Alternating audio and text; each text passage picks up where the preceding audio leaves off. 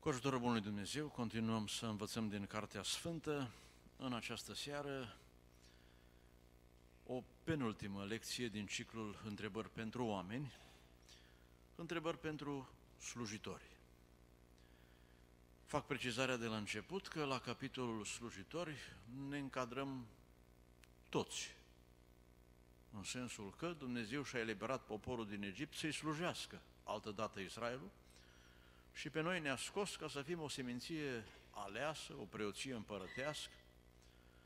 Diferă doar area de slujire, volumul activității, locul repartizat, dar cel puțin la nivel de familie toți suntem responsabili de felul în care ne învățăm copiii, toți avem chemarea să vorbim celor de lângă noi dacă ni se cere socoteală de credința care este în noi, toți ne rugăm lui Dumnezeu și asta este o slujbă, toți cântăm și asta este o slujbă. Așadar, să ne fie clar că, așa cum spunea Domnul în pilda talanților, unul a primit un talent, altul doi, altul cinci, dar toți au primit ceva și într-o zi toți au fost întrebați. Este bine să ne cercetăm din vreme și să simulăm acum o stare de responsabilitate, de raport înaintea lui Dumnezeu. Pentru că întotdeauna oamenii sunt uh, responsabili de slujirea încredințată și dacă judecata începe cu bătrânii, pentru că ei sunt cei mai responsabili, cu cei care sunt mai în față, nu se încheie fără a se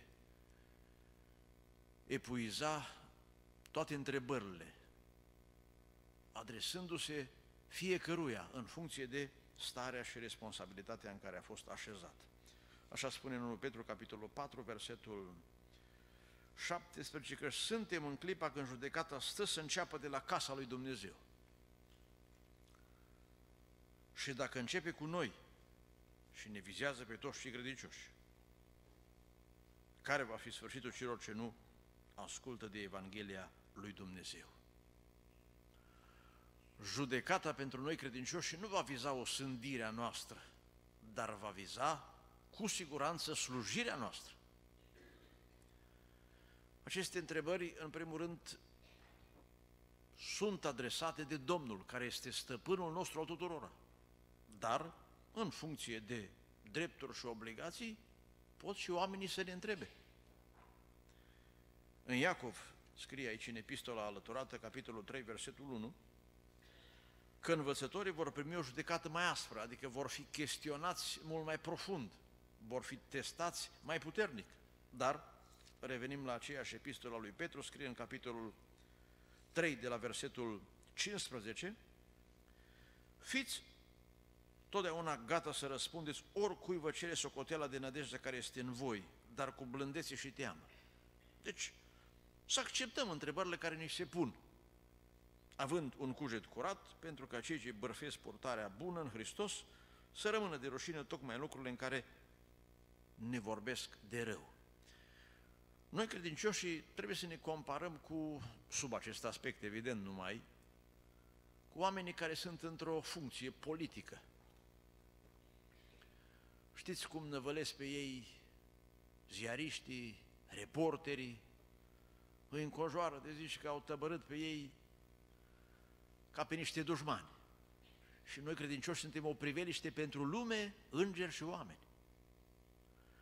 Știți că cei care sunt într-o anumită funcție, să spunem la primărie, la adresa lor sosesc, adică în vederea solicitării, a rezolvării cazurilor, diferite reclamații, cereri, și în funcție de responsabilitate trebuie să facă față la toate acestea.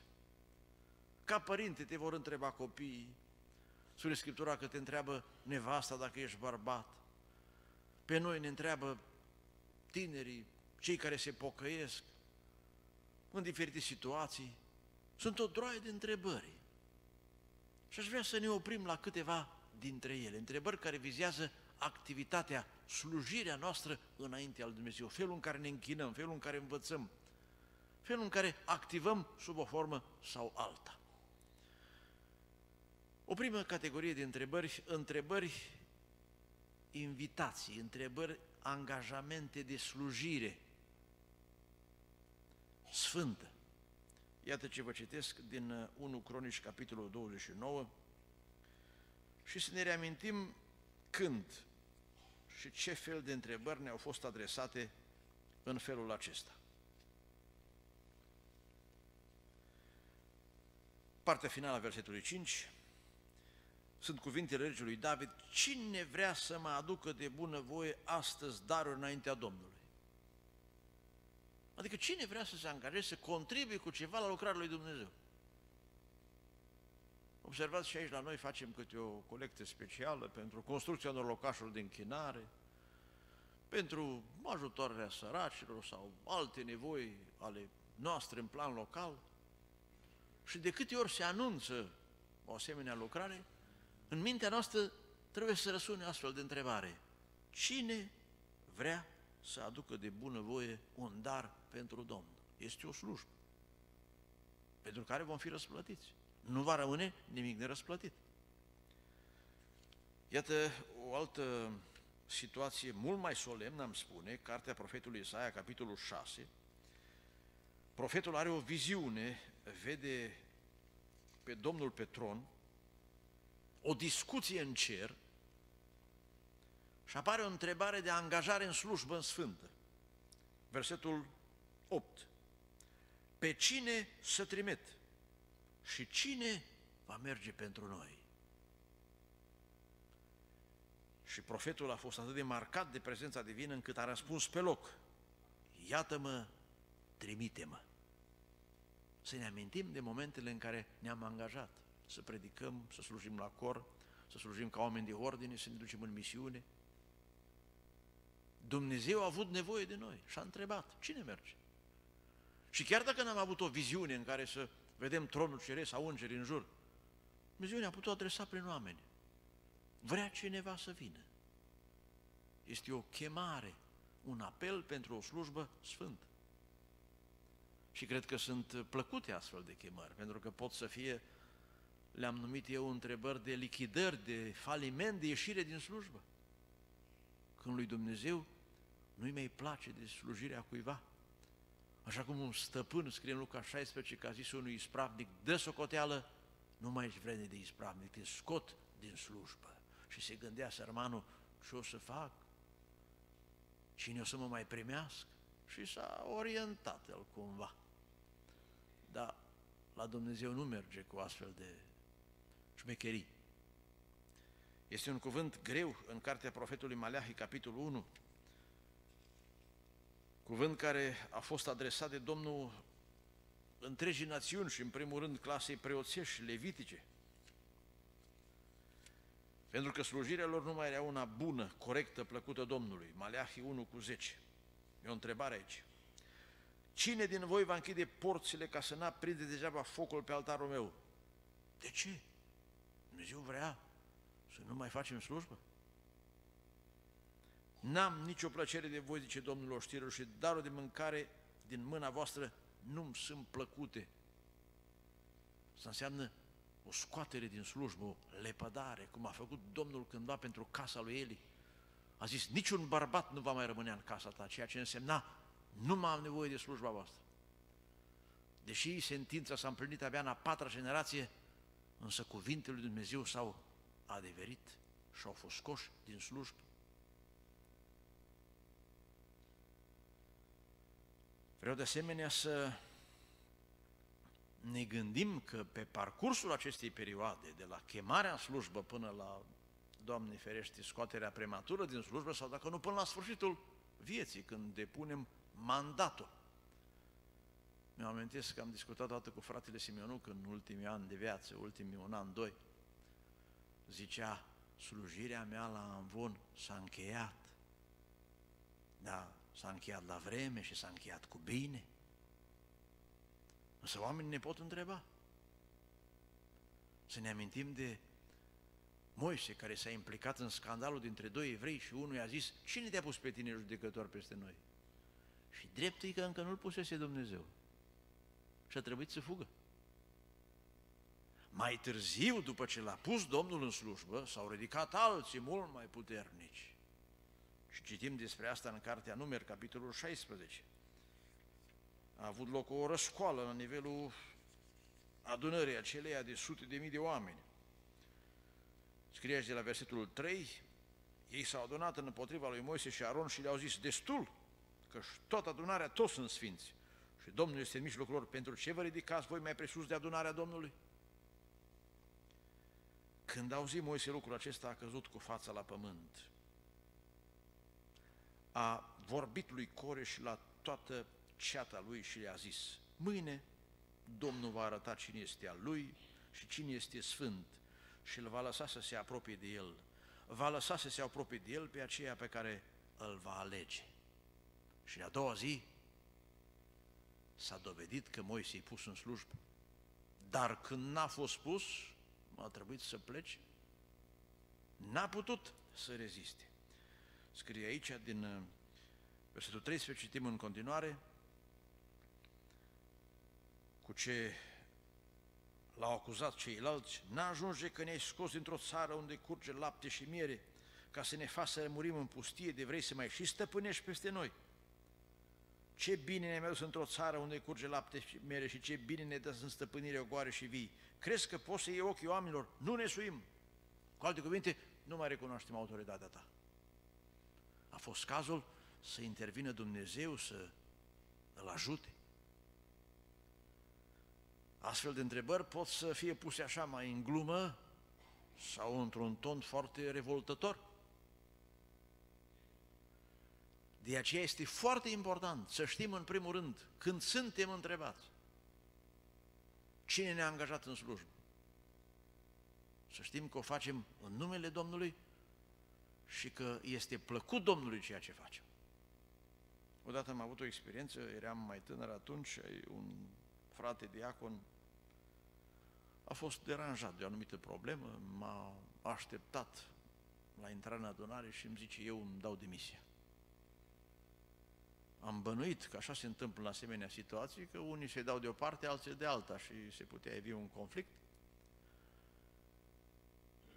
Și mi-a venit o lumină de la Domnul și am zis, frate, era mai bătrân ca mine, cu 30 de ani, eu te-am pus în slujbă. Nu. Amintește-ți cum ai fost pus dumneata în slujbă. Păi mi-a vorbit Domnul și Domnul m-a pus în slujbă, da? Până aici e bine. Cine te poate scoate din slujbă dacă Domnul te-a pus? Domnul, ia caută-l pe Domnul, rogă-te, Domnul spune, Doamne, vreau să-mi dau demisia, vreau să-mi închei slujba, acum la anii aceștia. Sunt supărat, nu mai pot face. Și s-au liniștit lucrurile, fratele s-a trezit. Că dacă Domnul ne-a pus, numai în fața Lui putem să ne depunem mandatul. Și suntem responsabili câtă vreme Domnul ne lasă să slujim. Doamne, ajută-ne pe toți până la sfârșit. Pe parcursul acestei perioade de slujbă pot să apară diferite întrebări referitoare la slujba ce o efectuăm. Cui slujești, cine ești, ce slujba ai, cum apreciezi slujirea altora, că nu doar nu suntem numai singuri slujitori, cum vrei să sfârșești, cine te împiedică să slujești. Sunt o multitudine de întrebări care vor determina felul nostru de gândire, răspunsul nostru, care de fapt oglindesc ceea ce avem în inima noastră. Să ne uităm în Scriptură la câteva dintre ele. Cartea 1, Regi, capitolul 19, citim despre Domnul care l-a întrebat pe profetul Elie și să vedeți că sunt de slabi oamenii după ce a dat dovadă de autoritatea ce o avea înaintea întregului Israel. Amintiți-vă, spusese cu un timp în urmă, în țara asta nu se va întâmpla nimic decât după cuvântul meu. Așa va veni ploaia sau nu va veni. Și a dovedit autoritatea, poruncind uciderea preoților falși. Dar la amenințarea cruntă a Izabelei s-a temut și a plecat. Ea spunea că mâine urma să îl omoare și el a plecat cale de o zi să-și ia o marjă de siguranță, îmi spune. Apoi a pornit încă 40 de zile, singur. Și când ajunge în pustie, îl întreabă Domnul, citim aici în versetul 9, ce faci tu aici, Ilie? De altfel e o întrebare foarte naturală pentru cine lucrează. Ce faci? Și Dumnezeu persista cu întrebarea aceasta. El s-a justificat, Doamne, sunt singur. Ceilalți au dat bir cu fugiți. Ori au fost persecutați și au murit. Ce mai pot face? Dumnezeu se prezintă în câteva moduri de lucrare, apoi îi pune aceeași întrebare, versetul 13. Ce faci tu aici, Ilie? Și n-am avut ce să răspundă ceva în plus decât poezia aceea veche. Sunt singur. Nu se mai poate lucra. L-a încuvințat Domnul în privința aceasta să spună, da, Ilie, te înțeleg, nu mai avem ce face, trebuie să abandonăm lucrarea. Și zice, Ilie, nu, mai sunt șapte mii de slujitori. Și mai mult, tu încă trebuie să angajezi pe alții în slujbă. Să nu fii singur așa cum te vaiți. Te duci și 11 Elisei, 11 Hazael, 11 Iehu și lucrarea va merge mai departe. Uneori suntem doborâți parcă. Să ne amintim de Ioan Botezătorul, care fiind întemnițat, a trimis pe niște ucenici la Domnul Iisus să întrebe. Și Domnul spune, să citim din Nou Testament, Evanghelia după Luca, capitolul 7,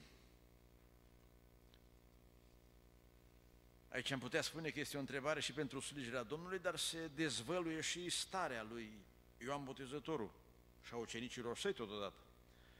7 cu 19. Tu ești acela care are să vină sau să așteptăm pe altul?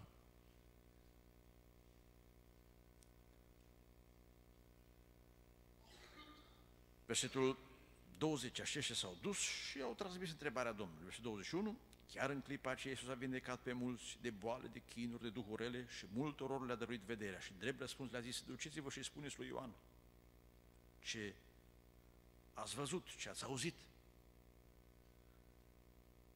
Iată așadar că și lucrarea Domnului continuă. Cum spunea Pavel la un moment dat, eu sunt legat, cuvântul Domnului nu este legat. Au fost oameni care au suferit mult. Un frate care a făcut mulți ani de închisoare spunea la un moment dat în durerea lui, am suferit mai mult decât Domnul Hristos. Da,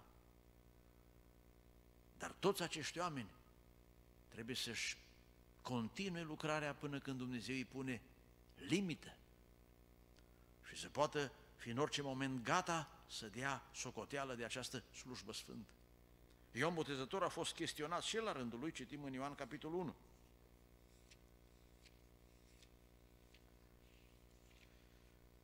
Fost asaltat cu o ploaie de întrebări. Unul cu versetul 22. Hai și 19. Tu cine ești? Versetul 22. Dar cine ești? Ei aveau posibile răspunsuri, dar insistau să spună cine este, ce mandatare. Să ne gândim că Ioan Botezătorul a făcut o lucrare la nivel național, a fost trezită națiunea. Și el a știut cine este, ce rol are în acea lucrare. Dacă m-am amintit de fratele Simenuc, mi-am amintit un alt caz, am fost cu el în misiune și la sfârșitul unei slujbe vine un frate și îi spune, frate Simenuc, să-mi faci ungerea că-s bolnav. Și bătrânul, cum dădea el din cap, zicea, nu mă laud cu de ăștia. Eu numai cu Evanghelia. A știut care este chemarea lui. Și nu s-a amestecat în lucrul altuia. De exemplu, mai întâlnim câte un proroc care vrea neapărat să facă și ungeri. Am fost întrebat în țară, frate, au drept proroci să facă ungeri. Frate, dacă se vindecă, slavă Domnului. Dar dacă numai așa să o facă, destul o fac dintre prezbiteri și nu se vindecă. Să mai facă și ei și să mai avem parte de eșecuri în plus. N-aș avea nimic împotrivă dacă s-ar întâmpla minune, dar dacă nu se întâmplă, atunci n-are nici mandat biblic, că măcar un prezbiteri dator să o facă în area de responsabilitate a slujirii. Dar un proroc să se țină de activitatea lui. Mai se întâmplă uneori cu cântăreți. Ies în față și înainte de a cânta, se apucă și de predicat. Și uneori nu, nu le este dat. Și am fost nevoit să le spun la unii, băi, nici eu înainte de a predica nu mă apuc de cântat. Nici voi înainte de a cânta nu vă apucați de predicat. Fiecare să intre direct în postata lui și să-și facă slujba. Când te întreabă cineva cine ești, ce ești, sau mai se ridică câte unul la voce, spune, frate, eu nu sunt predicator și am auzit voci prin, prin jur, dă-te jos atunci dacă nu ești predicator. Că nu trebuie să fim nici mai mândri, nici mai smeriți. Fiecare, zice în Roman 12, să aibă simțiri cumpătate potrivit cu măsura de credință care a încredințat-o Dumnezeu fiecăruia. Dacă ești numai comandant de grupă, de ce trebuie să te dai drept comandant de pluton? Așa că nu-i comandant de pluton aici, păi fi tu un locuitor la comanda plutonului, dar asta nu în anumite condiții. Fiecare să știe partea lui de slujire. Ne oprim la 1 Samuel, capitolul 2, cazul familiei lui Eli. Aici deja se intră mai adânc în subiect și un om al lui Dumnezeu trimis vine cu întrebări grele. 1 Samuel, capitolul 2, versetul 29. Pentru ce călcați voi în picioare jerfele mele și darurile mele care am poruncit să se facă în locașul meu și cum se face că tu cinstești pe fiii tăi mai mult decât pe mine ca să vă îngrășați din cele din tine roade luate din toate darurile poporului meu Israel. Vedeți? Îi ia la rost pentru slujba ce o făceau și tot poporul avea cunoștință. Dar poate poporul nu și-a permis să-i întrebe. I-a întrebat însă Dumnezeu, asta e slujbă ce faceți voi? E corect? E plăcut Domnului? Și a lăsat totuși o vreme, dar în final au plătit greu. Ceva asemănător citim în Isaia, capitolul 1, unde Dumnezeu vine și întreabă nu doar o familie, ci întreaga clasă de slujitori. Ba chiar mai mult, de oameni care veneau la sărbători. Să știți că nu e mare diferență între slujitori și cei din popor. Uitați-vă în Israel, când împăratul a fost apostat, așa a fost și poporul. Și s-au tras la vale ori unul împăratul pe popor, ori poporul pe împărat. Isaia, capitolul 1, versetul 12. Când veniți să vă învățișați înaintea mea, cine vă cere astfel de lucruri să-mi spurcați curțile? Să nu facem slujbă în mod vinovat. Mai ne întreabă oamenii într-o parte și alta. Recent m-a sunat un frate proroc și îmi zice, am fost într-o anumită zonă a țării și unul în urma unei descoperiri mi-a recunoscut că el trăiește în păcat. Ce să-i spun? În primul rând, să nu mai facă slujbă, să se pocăiască, își atrage o sândă.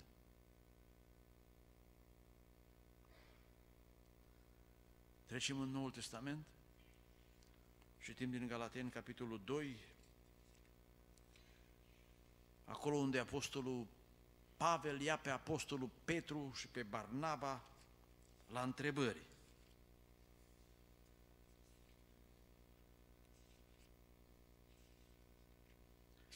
Galateni, capitolul 2, versetul 14. Când am văzut eu că nu umblă drept după adevărul Evangheliei, am spus lui Chifa în fața tuturor, dacă tu care ești iudeu trăiești ca neamurile și nu ca iudei, cum slujești pe neamuri să trăiască în felul iudeilor? N-a avut Petru cuvânt, în sensul că nu se putea justifica. Ce zice așa să ne luăm aci la rost așa unul pe altul între slujitori? Măi, asta e drept ce ai făcut? Așa s-a întâmplat atunci. A făcut-o cu siguranță, fără ură. Dar a văzut că lațul fățărniciei se extindea și slujba trebuie să fie făcută cu mare grijă.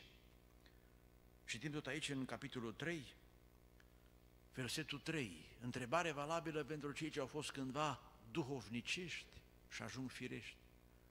Au fost bărbați de slujbă care în tinerețe au prorocit, la bătrânețe Nu mai credeau nici pe alții ca proroci. Știu cazul unuia care la tinerețe a fost un proroc renumit și mai peste ani a vorbit Domn printr-o soră bătrână. O, bărbatule, eu te rânduisem să fiu un miel. Și el a ajuns altceva. Scrie aici în 3 cu 3, sunteți așa de nechipzuiți? După ce ați început prin Duhul, vreți acum să sfârșiți prin firea pământească? Așa ne-a fost slujba la început sau o făceam cu mai multă teamă de Domnul? Rămânem în Galateni, o epistolă cu câteva întrebări. În privința aceasta citim din capitolul 4 de la versetul 12. Unde Pavel scria, fraților, vă rog să fiți ca mine, că și eu sunt ca voi, nu mi-ați făcut nicio nedreptate. Din potrivă, știți că în neputința trupului v-am propovădit Evanghelia pentru întâia dată. Atunci nu m-ați disprețuit. Și acum versetul 15. Unde se dar fericirea voastră? La început, când au primit Evanghelia, erau plini de entuziasm, de pace, de bucurie. Au venit alții, i-au bătut de la adevăr, li s-a dus bucuria, harul, erau suspicioși și cu privire la apostol și le dă explicații aici. Și zice în versetul 16, întrebându-i, m-am făcut oare vrăjmașul vostru pentru că v-am spus adevărul? Nu cu gând bun sunt ei plini de râvnă pentru voi, ci vor să vă deslipească de noi ca să fiți plini de râvnă față de ei, unde deja apar partide, se complică problema slujirii. Nu mai era apreciat apostolul și îi întreabă, dar eu n-am fost altul între voi, știți? N-am avut cu ce să mă laud. Am avut un disconfort, un handicap trupesc, dar m-ați primit ca pe un înger. Acum, altfel gândiți? Scrie tot aici în Galaten, capitolul 5, versetul 7. Voi alergați bine. Asta ar trebui să întrebăm pe unii care au slujit, au cântat în grupuri, au cântat la cor. Zice întrebarea în continuare, cine v-a tăiat calea ca să nu ascultați de adevăr? S-au întâlnit oameni care au fost bine încredințați, botezați cu Duhul Sfânt și peste ani se îndoiesc. Pentru că cineva i-a abătut de la credință și slujba lor înaintea Domnului, iată că suferă. De aceea să fim atenți. Mă adaug un verset din cartea Nemia, capitolul 13, versetul 11. În vremea acelui bărbat de care s-a amintit în această seară, au fost și alții care au afectat slujba sfântă, n-au mai dăruit banii pentru templu, pentru leviți, slujba a fost lăsată în uh, seama tot mai puțin slujitori, până când risca să fie desfințată de tot și este aici următoarea întrebare. Pentru ce a fost părăsită casa lui Dumnezeu? Asta e mai grav ca și cum ar întreba un director pe un profesor, de ce nu ești la ore? Și a lăsat copiii liberi de capul lor. Asta e mai grav de cum ar întreba un șef pe un pasnic, de ce nu ești la poartă? Pentru ce a fost părăsită casa Domnului? I-a pus din nou în slujbă, înlocuind pe cei necredincioși cu alții vrednici de încredere. Pe lângă aceste întrebări care sunt uh, legitime problemelor din slujbă, vreau să mă amintesc încă o categorie de întrebări care poate să vină din partea celor de afară sau chiar din partea demonilor.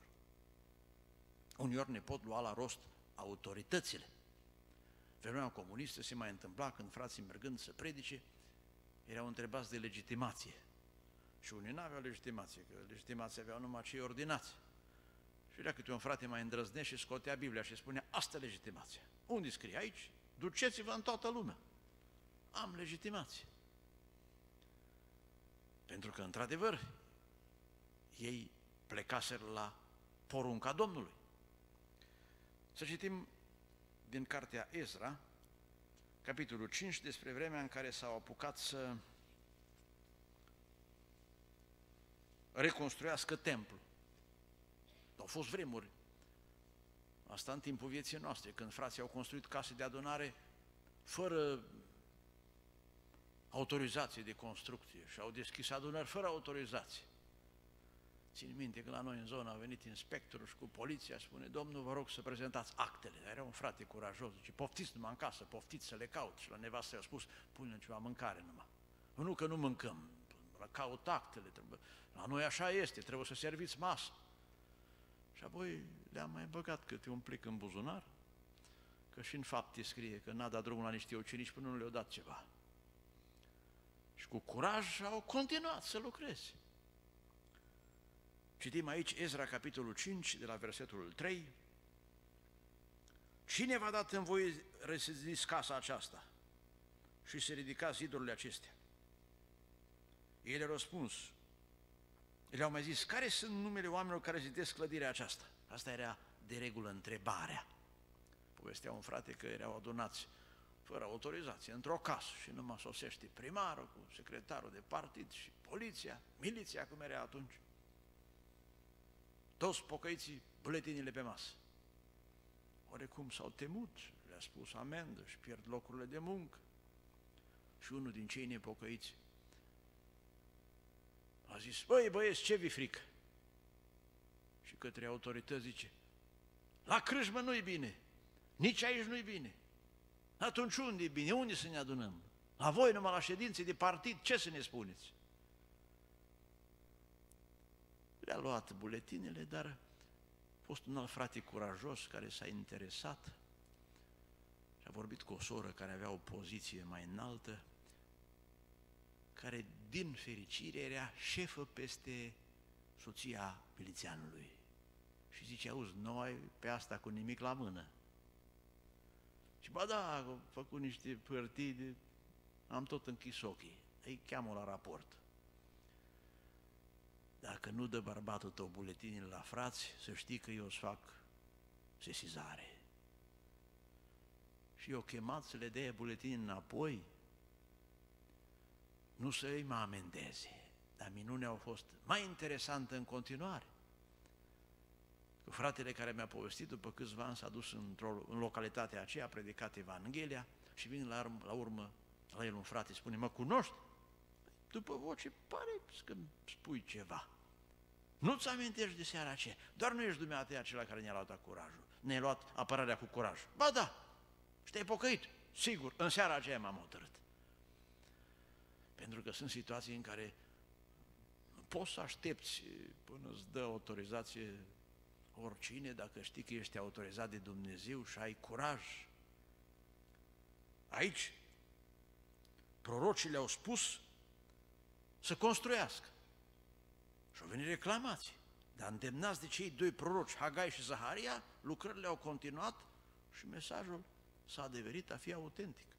Deci în Noul Testament, în Cartea Faptele Apostolului, să ne amintim de primul cenici, oameni care au fost luați la rost, cum zicem noi. Scrie în Fapte 4 cu 7, au pus pe Petru și pe Ioan în mijlocul lor și i-au întrebat cu ce putere sau numele cui ați făcut voi lucrul acesta? Anchetă. Conducătorii națiunii.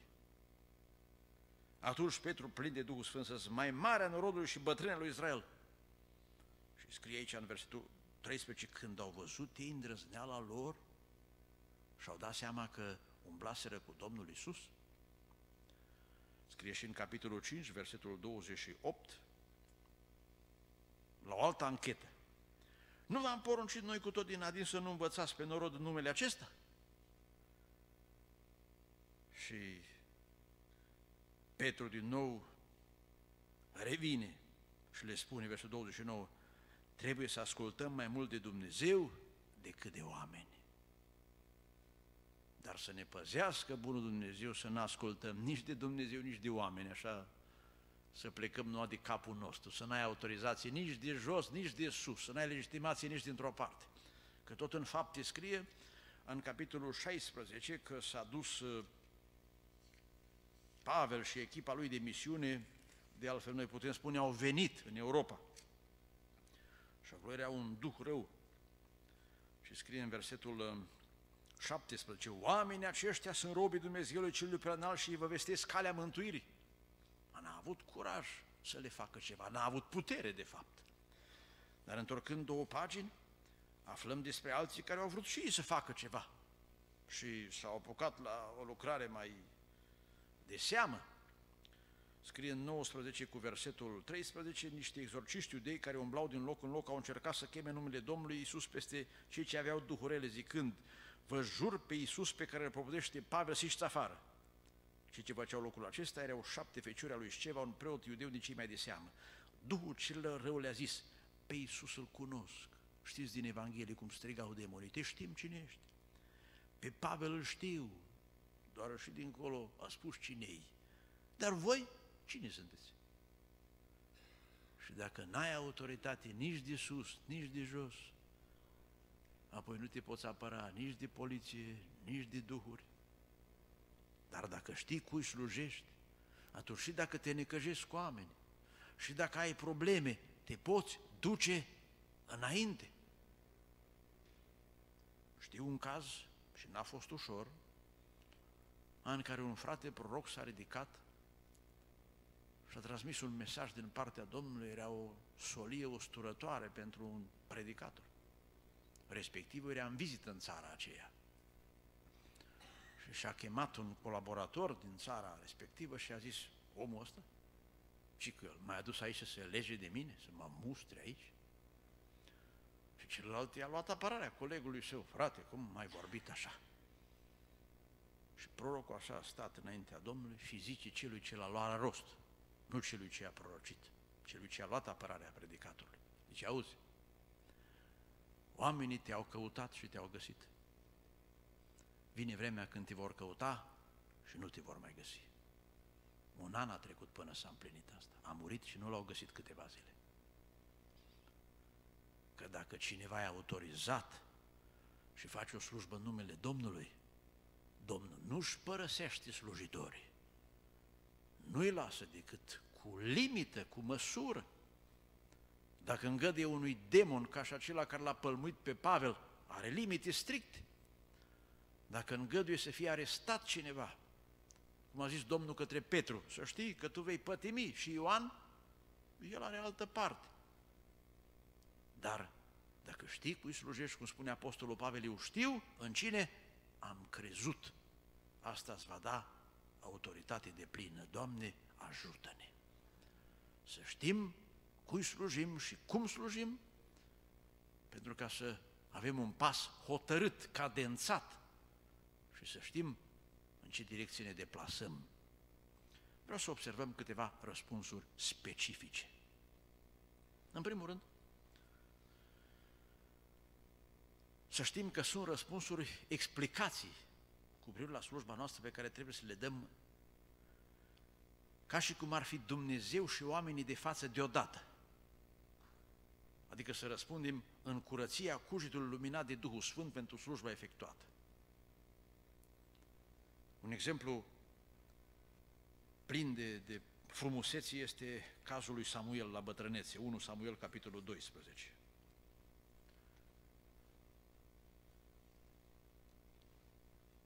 Citim de la versetul 2. De acum iată împăratul pe care, care mă merge înaintea voastră, cât despre mine eu sunt bătrân, am albit, așa că fiii mei sunt cu voi, am umblat înaintea voastră din tinerețe până în ziua de azi. Iată-mă, raport de slujire. Mărturisiți înaintea mea, în fața Domnului și în fața unsului său, era vorba de Saul, cui am luat bou sau cui am luat măgarul, pe cine am apăsat și pe cine am năpăstuit, de la cine am luat mită ca să închid ochii asupra lui, mărturisiți și vă voi da înapoi. A admis că poate a greșit, neveghere, dar a răspuns cu responsabilitate. Poporul a răspuns, nu ne-ai apăsat, nu ne-ai nepăstuit și nici n-ai primit nimic din mâna nimănui. El le-a mai zis, Domnul este martor împotriva voastră și unsului este martor în ziua aceasta, căci n-ați găsit nimic în mâinile mele. Și ei au răspuns, sunt martori. Frumoasă încheiere de slujbă. Pentru că Dumnezeu când ne angajează în slujbă, ar vrea să o încheiem cu bine. Dumnezeu e credincios. Ioan Botezătorul a avut o slujbă scurtă, Vă rog să vă gândiți că a fost mai mare cu șase luni decât Domnul Isus și și-a încheiat activitatea înainte Domnului Isus. Doi-trei ani cât o fi slujit. Nici atât. Foarte puțin am spune. Discutam recent cu un frate cât a durat de la convertirea lui Saul până la moartea lui. S-a convertit cândva în jurul anului 35 și a fost decapitat în jurul anului 64, sub 30 de ani de slujbă. Alții, ca Enoch, au trăit cu Dumnezeu 300 de ani. Dar dacă suntem credincioși, dacă suntem serioși, Domnul vrea ca activitatea noastră să se încheie cu bine. Pentru asta trebuie să fim sinceri cu Dumnezeu și cu oamenii. Să luăm un alt caz al apostolului Petru.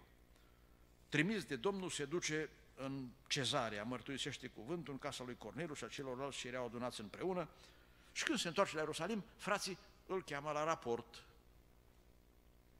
Citim din fapte capitolul 11, versetul 2, îl mustrau și ziceau, a intrat în casă la niște oameni tăiați împrejur și ai mâncat cu ei. Petru a început să le spună pe rând cele întâmplate.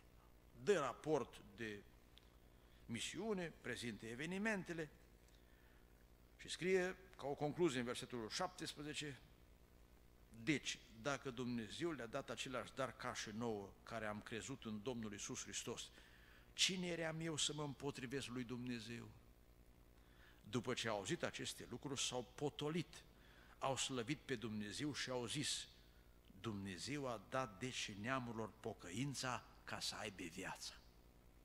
Sunt situații în care trebuie să dăm explicații asupra ceea ce am făcut, pe unde am fost și cei sinceri ne vor accepta. Dacă o facem în curăție de inimă înaintea Domnului. Citim și din 1 uh, Corinteni, capitolul 4, de la versetul 1, Iată cum trebuie să fim priviți noi ca niște slujitori lui Hristos și ca niște ispravnici ai tainilor lui Dumnezeu. Încolo ce se cere de la ispravnici este ca fiecare să fie găsit credincios în lucru încredințat lui. Cât despre mine, prea puțin îmi pasă dacă sunt judecat de voi sau de un scaun omenesc de judecată, ba însă nici eu însumi nu mă mai judec pe mine. Cum? Căci n-am nimic împotriva mea. Totuși, nu pentru aceasta sunt socotit neprihănit, cel ce mă judecă este Domnul. El amintea de mai multe ori scris asta că slujea cu un cuget curat, un cuget luminat de Duhul Sfânt. Și când slujești curat, poți să dai socoteală. Poate să fie un înger de față, poate să fie un frate de față sau o sută de oameni sau o adunare să fie de față. I-am spus cuiva, vezi că de acum îmbătrânim și se întâmplă că nu mai știi astăzi ce ai spus ieri. Dar dacă suntem curați la suflet și am spus adevărul din inimă, nici nu te mai interesează cum ai spus ieri. Că numai omul care minte trebuie să fie grijuliu să îi se potrivească declarațiile și să nu intre în dezacord cu ce a povestit ieri. Dacă care spune adevărul, n-are nicio grijă cum zice în proverbe, îndrăznește ca un leu tânăr. Și dacă vrea Domnul să-l apere, poate să-l apere. Așa să slujim încât la, în orice moment, dacă ne-ar întreba Dumnezeu și oamenii deopotrivă, să putem mărturisi cu inimă curată, cum spune Pavel la sfârșitul vieții sale, mi-am isprăvit alergarea, am păzit credința, m-am luptat lupta cea bună, de acum mă așteaptă cu nuna. Nu avea mustrări de cuget. Dar pentru asta trebuie să fim atenți. Pentru că altfel spunea un frate mai bătrân, deci din Banat, la încheierea activității, pare rău că am fost mai bun ca Dumnezeu. Altul poate să spună, îmi pare rău că n-am fost drept cu unii, am fost aspru, poate am ținut cu ai mei, am nedreptățit pe alții. O doua situație de răspunsuri, care nu e indicată. Explicații și rapoarte numai înaintea oamenilor. Ne luându-l în calcul pe Dumnezeu. Vedeți, noi trebuie să dăm raport în anumite situații. Știu, frați, evangeliști în țară care sunt sponsorizați de biserici din Austria sau din America și din când în când trebuie să dea câte un raport de activitate. Și ei pot să scrie acolo, am fost acolo, am făcut asta și asta, dar dacă sunt sinceri, vor declara ca înainte al Dumnezeu. Dacă nu, vor declara doar ca pentru oameni, ca să fie o justificare. Să luăm un caz din judecător, capitolul 17, unde un om, împreună cu mama lui și ea la fel de vinovată, implicându-și apoi și copilul în acea slujire vinovată, au făcut un chip cioplit, un chip turnat și au crezut ca o casă a lui Dumnezeu. A mai venit apoi un levit și scrie aici în judecători 17 de la versetul 12, Mica a sfințit pe Levit, tânărul acesta i-a slujit ca preot și a locuit în casa lui. Avea Dumnezeu de a face ceva cu acea casă? Nici vorbă. Acolo erau lucruri idolatre, dar ei credeau că totul e în regulă. Și levitul acesta primea o soldă, haine, mijloace de trai și trebuia să dea raport lui Mica, care era sponsorul lui. Și Mica la rândul lui a zis, sunt asigurat, versetul 13, acum știu că Domnul îmi va face bine, fiindcă am ca preot pe levitul acesta. Domnul a fost introdus în ecuație doar așa, formal, verbal, nu era nimic real aici. Asta se întâmplă în cadrul unor organizații. Rapoarte, dări de seamă, aprecieri, numiri, nominalizări, fără Dumnezeu. Un Dumnezeu absent din asemenea activități. Să ne amintim de spusele Domnului Iisus cu refer la cărturari și farisei. Ei șed pe scaunul lui Moise, dar Moise era omul lui Dumnezeu. Ei mai erau oamenii lui Dumnezeu? Nici vor. Făceau ședințe la care Dumnezeu nu lua parte, nu lua act, din potrivă. Știți că se sfătuiau mereu cum să-L omoare pe Domnul Isus și ei spuneau că sunt oameni religioși. S-au bătut cu pumnul în piept. Noi suntem sămânța lui Avram. Să ne oprim numai la o ședință, Ioan capitolul 11, prezidată de marele preot Caiafa, citim versetele 47 și 48. Ce vom face? Omul acesta face multe minuni. Dacă îl vom lăsa așa, toți vor crede în el, vor veni romani și ne vor nimici și locul nostru și neamul. Ce concluzie la acea ședință! Străin total de Dumnezeu, totuși se pretindeau a fi oamenii lui Dumnezeu. Doamne, păzește-ne de așa ceva. Și o a treia categorie de răspunsuri, explicații pedagogice. Când ne întreabă copiii sau cei ce sunt ucenici în credință. Aici trebuie să dăm explicații care să ajute la formarea lor să fie învățați. Pentru că nu era tot una pentru un evreu să-l întrebe unul dintre neamuri, și cu sărbătoarea asta? Și cu totul altceva era să-l întrebe un copil, tati. Și Dumnezeu chiar a recomandat aceasta. Exod, capitolul 12, capitolul 13, Deuteronom 6, hai să citim una dintre ele. De ce facem așa? Ei, în acest caz, tata nu trebuia să dea socoteală cuiva, și trebuia doar să-și învețe copilul. 6 cu versetul 20, când fiul tău te va întreba într-o zi, ce înseamnă învățăturile acestea, legile acestea și poruncile acestea de care, pe care ți le-a dat Domnul Dumnezeul tău? Să răspunzi fiului tău, noi eram robi în Egipt și Domnul ne-a scos cu mâna lui cea puternică. Domnul a făcut sub ochii noștri minuni și semne mari și nenorocite împotriva Egiptului, împotriva lui Faraon și împotriva întregii lui case. Și ne-a scos de acolo ca să ne aducă în țara pe care o jurase părinții noștri că ne-o va da. Și din aceste răspunsuri copiii trebuiau să învețe. Și pe Domnul Iisus îl întrebau adesea ucenici. Să luăm un exemplu, Evanghelia după Ioan, capitolul 9, versetul 2.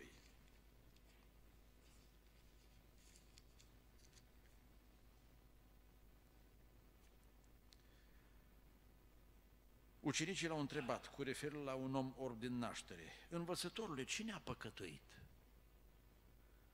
Omul acesta sau părinții lui de să născut orb? Pentru că una este să întrebe acuzativ, Cine e păcătos aici? Am știut eu că vă bate cel de sus.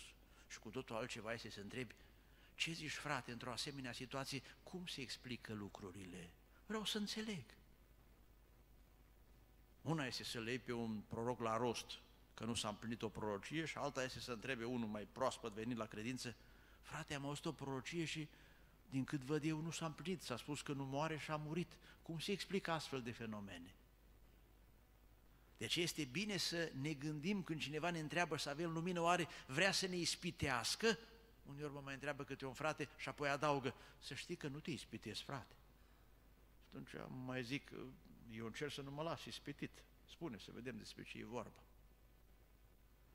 Așadar trebuie să răspundem cu teamă ca înaintea lui Dumnezeu, să ne ferim să dăm socoteală numai înaintea oamenilor, excluzându-L pe Dumnezeu din ceea ce este în primul rând lucrarea Lui și să știm când trebuie să dăm răspunsuri drept lecții, în mod deosebit folosind experiențele din Biblie. Atenție când dați răspunsuri cu privire la anumite evenimente, la anumite slujiri, să nu-i doborâm pe cei mici, pe copii.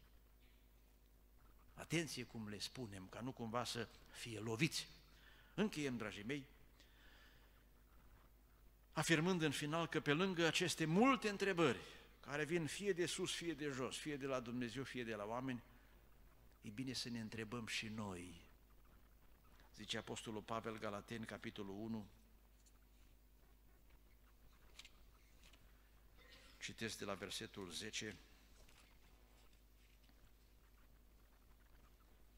Caut oare în clipa aceasta să capăt bunăvoința oamenilor sau bunăvoința lui Dumnezeu? Sau caut să plac oamenilor? Cu ce gând scria el acea epistolă, se întreba. Capitolul 2 prezintă aceeași idee. Versetul 1. După 14 ani m-am suit din nou la Ierusalim împreună cu Barnaba și am luat cu mine și Petit. M-am suit în urma unei descoperiri și le-am arătat Evanghelia pe care o propovăduiesc eu între neamuri, în deoseb celor mai cu vază, ca nu cumva să alerg sau să fie alergat în zadar. E bine cine are o descoperire din partea Domnului să se întrebe, să-L întrebe pe Domnul, Doamne, vrei să mă faci proroc? Sau doar acum ai vorbit prin mine că n-a fost altcineva aici? Doamne, chi să mă trimis pe mine într-o anumită lucrare? Vrei să mă așezi acolo? Mi-amintesc când am venit în coace la Arad, că am avut mai multe întrebări de genul acesta, deși Dumnezeu îmi vorbise mai dinainte. Pentru că trebuie să ne încredințăm și în primul rând noi să fim convinși. Ca și când primește cineva Duhul Sfânt, ar fi destul să-i spună altcineva, vezi că ai primit Duhul Sfânt. Fără să fie el încredințat că a primit Duhul lui Dumnezeu. Oamenii ceilalți doar ar trebui să constate un adevăr. Pe voi înși vă încercați-vă, Dumnezeu să declare și să ne încredințeze. Ceilalți ar putea să nu ne creadă toți. Să avem împotrivitor. Nu pe toți prorocii buni i-au crezut, ba încă cei nu i-au crezut niciodată și nu i-au apreciat. Prorocii n-au fost prețuiți în patria lor. Dar dacă omul este încredințat, atunci rămâne stabil. Chiar dacă ajunge în groapa cu lei și când vor ajunge și ceilalți să constate, cum a zis Dariu către Daniel, Dumnezeu căruia îi slujești necurmat. Avea, credeți, Daniel îndoiel că nu slujește lui Dumnezeu? Cu siguranță că nu avea. De aceea a declarat când a venit dimineața împăratul la groapă, nu sunt vinovat înaintea lui Dumnezeu. Că dacă nu ne o sândește inima, avem îndrăsneală. Și un ultim aspect. Orice slujitor ai fi, să știi, să știm că noi nu merităm laudă. Lauda îi se cuvine numai lui Dumnezeu. Spune în 2 Corinteni, capitolul 8, de la versetul 20, că toată slujba trebuie să fie făcută înaintea lui Dumnezeu și cu gând că lauda îi se cuvine numai lui. În chipul acesta vrem ca nimeni să nu ne defaime cu privire la acest belșug de ajutoare de care îngrijim, căci căutăm să lucrăm cinstit nu numai înaintea Domnului, ci și înaintea oamenilor. Dar mai întâi înaintea Domnului. Și adaug din 1 Corinteni, capitolul 4, versetul 7, Căci cine te face deosebit? Asta să fie o ultimă întrebare adresată tuturor slujitorilor, și celor ce cântă ca soliști, și celor prin care Domnul descoperă taine, și celor pe care Domnul îi folosește la vindecarea bolnavilor. Ce lucru ai pe care nu să nu-l fi primit? Și dacă l-ai primit, de ce te lauzi ca și cum nu l-ai fi primit? Atenție așadar! Orice declarație ne-ar lua cineva, oricine ne-ar lua un interviu, tu ce slujbă ai? Să spui cu demnitate, cum, de exemplu, eu aș putea să spun, sunt învățător. Este una din slujbele acelea enumerate în Efesem 4 cu 11. Dar în final trebuie să adaug, Domnul mi-a dat darul acesta. Și dacă voi fi credincios, îmi va răsplăti. Dacă cineva are darul să cânte, Domnul i-a dat darul acela. S-a ridicat o soră undeva să cânte. A făcut așa un joc de scenă, tot aranja hainele și își dregea vocea. Și un frate bătrân a zis, asta nu cântă spre slava Domnului. Și altul de lângă zis, băi, tu știi cine e asta? Să știi cine vrea. Drept dovadă, ascultă. Și a zis bătrânul, și-l cunosc pe bătrân, trăiește. Doamne, ai graiul, în neacul. Și-a tușit beata femeie vreo 5 minute, s-a dus înapoi în bancă, să-mi cer scuze. Da? Că dacă nu-i lăudat Dumnezeu, nu ne alegem nici cu răsplată și riscăm să cădem în osânda diavolului. Doamne, păzește-ne! Ajută-ne să slujim după voia Ta. Numai câtă vreme e planul Tău, dar în toată vremea să Te lăudăm pe Tine ca în urma slujirii noastre să ne rămână ceva răsplată și la înviere, că dacă nu, ne alegem cu nimic. Domnul să vă dea îndurare. Amin.